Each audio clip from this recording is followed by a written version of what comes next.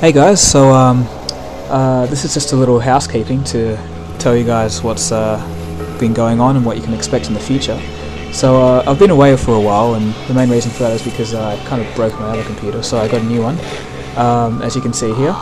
And uh, I've kind of made a 3 3D UI once again. Um, just got into customizing things, and yeah, it's pretty cool. Uh, and also it's got all the same uh, wallpapers that I had on my uh, Galaxy Note actually.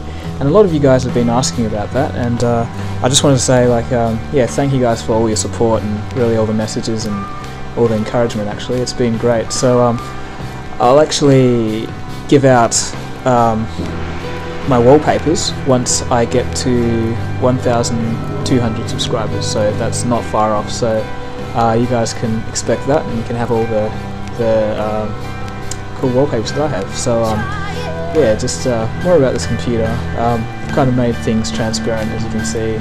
Um, yeah, you can switch windows when you drag it up to the top, which is pretty cool and handy. So you've got multiple desktops. Um, it's got a bit of a Windows 8 feel towards the side there, as you can see, and um, yeah, just different little hubs and stuff, which is pretty interesting. But um, yeah, so maybe if you guys want a tutorial, I might get around to making that. But um, yeah, it looks really cool, and uh, it's just kind of different from the stock standard Windows, and uh, all of that stuff works. So you can click on the icons, and then you know it opens up the respective files or whatever.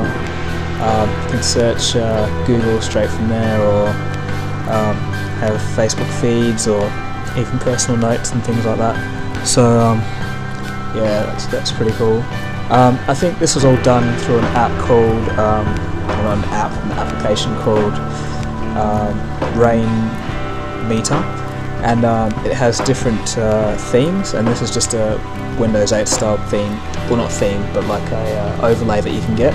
So um, there's many different ones out there, and it's pretty cool for customizing uh, Windows PCs. So I recommend using that, and it's free as well, which is pretty cool and uh, as you can see I still got my Galaxy Note, got a stand for it now which is um, yeah, just kind of sits by my computer it's just pretty awesome it's been there. Next time I review the Transformer Prime.